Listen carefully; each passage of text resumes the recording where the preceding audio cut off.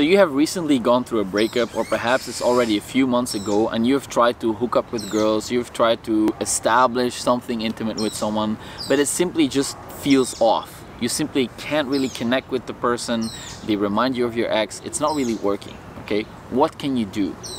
I have found myself in this exact situation many times, okay?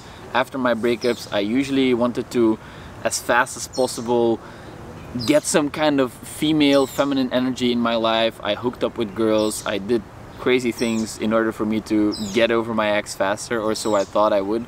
But somehow internally I felt that it was not sitting right with me. I was not ready okay? And that's absolutely okay right? It might feel off.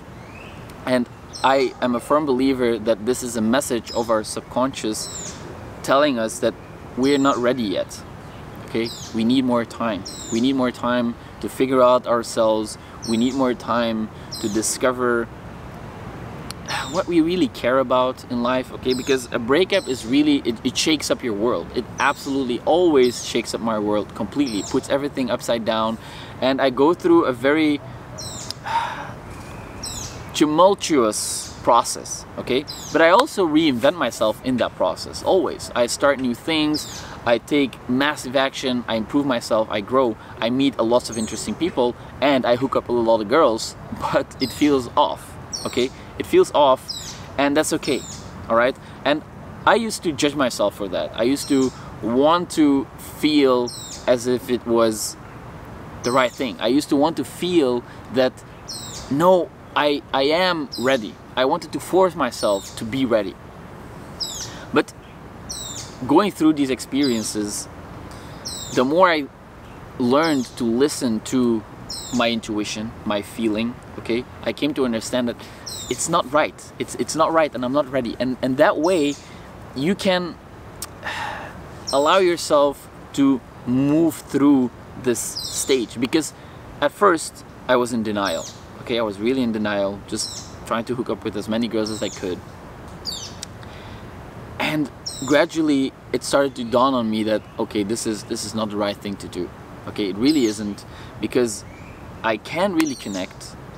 And what is the point of spending time doing this when all you want is connection? Okay?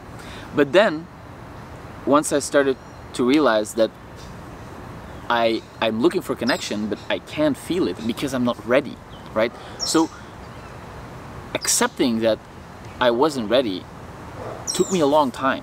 It was it was hard for me to accept that because I didn't want to accept that. I didn't want to allow someone else to have this kind of power over me in a way, right? Because I felt like the relationship ended and now it has so much power over me. And I don't want that. So I resist that. And so I try to deny that. It doesn't work like that. It really doesn't. And so one of the things that really helped me accept that is to embrace this feeling, to acknowledge that, okay, what do you need? I'm looking for connection, but I'm afraid to open up. I'm afraid to share my fears. And the first step to overcome that fear, that resistance, is to acknowledge it and then to share it, okay? At first I was not talking about my previous relationships with the girls I was hooking up with at all okay? But that caused me to experience some kind of wall. I couldn't allow myself to open up because I was afraid. I was afraid that they would judge me. I was afraid to accept the fact that I was still not really over my ex-girlfriends. And so it didn't allow me to connect because I was actually preventing myself from connecting by not opening up about what was actually going on okay? And when you are not doing that it, the, the connection can't flow. Fear is blocking the connection from being formed. Okay? So after I realized this, I started to gradually open up to a few girls. I started to talk to them about, okay, I'm still actually really struggling with my previous um, relationship. I, I haven't fully let go of my ex-partner and, and it's painful. And surprisingly enough, most of them were really understanding. okay and you don't want to play the victim and wallow in self-pity and try to gain their sympathy that is not at all what it's about okay it's really not about that it's about allowing yourself to share what you're currently experiencing. You don't want to try and gain their sympathy by talking about these things. That is very unattractive. Okay, that's really unattractive to act like a crybaby with, with, with the girls trying to gain their sympathy. That is that is not what you want to do. Okay, it's really unattractive, and it's again a way of preventing yourself from being truly open, truly vulnerable, because it's almost like an act. It's almost like a play, and I fell into that trap. I tried to play a little bit of the the hurt person and and I was not really actually being vulnerable all right so be careful with that but once you learn to truly embrace the state you're in and you can share that vulnerably openly the right people will resonate with that. And that acknowledgement and understanding is going to be incredibly healing. Now you want to be careful with not using someone for this okay? You don't want to use a person to make you feel better. It's not about that. It's more about allowing yourself to cross the boundary of not speaking about these things, not speaking about these things in an environment where it might be a little bit scary to do so. All right? Because talking to your best friend about how your heart is broken, that is relatively easy. But talking to a girl that you're hanging out with and that you're perhaps romantically interested in, etc., that's a whole other ballpark. So it took me a long time to arrive at that point where I could genuinely and openly communicate about the hurt that I was experiencing from my previous breakups. And that that really helped to speed up the healing process. So if you find yourself in this situation and you feel like you're meeting girls and it feels off you can't really connect you might want to question your behaviors and you might want to see if you're perhaps hiding some things or you're perhaps not really opening up like you should be. Because you you have to move past this first. Otherwise you will keep hiding and you will never move past this feeling of not being able to connect. Okay so you have to move past and so the first few girls they might listen to your story and they will realize okay this guy is really not ready to date so they they cut you off okay some of them they stay, some of them they cut you off depending on what they're looking for. I've had a few girls cut me off, I had a few girls stay. Um, because this is the risk you take, okay? But you have to move past this. You have to be willing to share openly where you're at.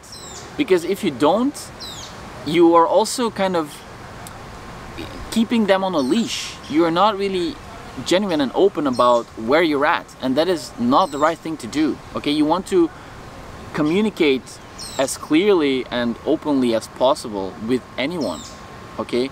Because otherwise you can cause hurt feelings and missed expectations and that is that is not what you want. You want to avoid that as much as possible okay? So if you find yourself in a situation where it feels difficult to connect with other people and you desperately want to perhaps you still need a little bit more time. Perhaps you still need to acknowledge the fact that you are not ready yet and that's okay all right? There is so much more to life than just relationships. There's so much more to life than just you know being intimate with people. You can explore many facets of life. You can go travel you can go start a business you can learn a new skill you can hang out with friends you can do anything. You can get a pet.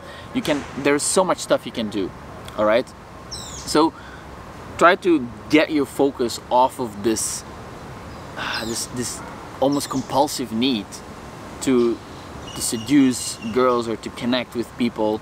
And and and see things from a broader perspective. Allow yourself the time the space. It's okay. It's okay that you're not ready yet. It's fine. You don't need to force it. Because if you're trying to force it it will backfire. It always does. It's way better to find a balance than to allow things to naturally flow. And they will come into your life okay?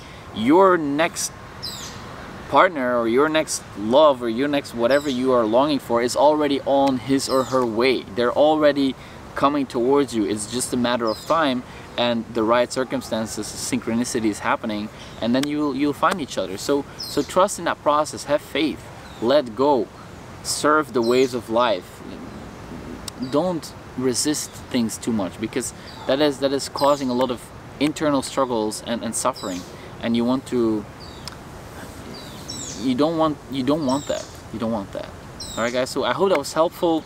If you have any questions or you find yourself in a similar situation feel free to leave a comment down below. I read and reply to all of them. If you like this video please leave a thumbs up. This helps to expose the video to more people who might want to learn more about this topic. And if you would like to support the channel one of the best ways to do that is by either clicking that subscribe button or sharing it with a friend who might want to hear about this. And as always Thank you so much for watching guys and I'll see you in the next video.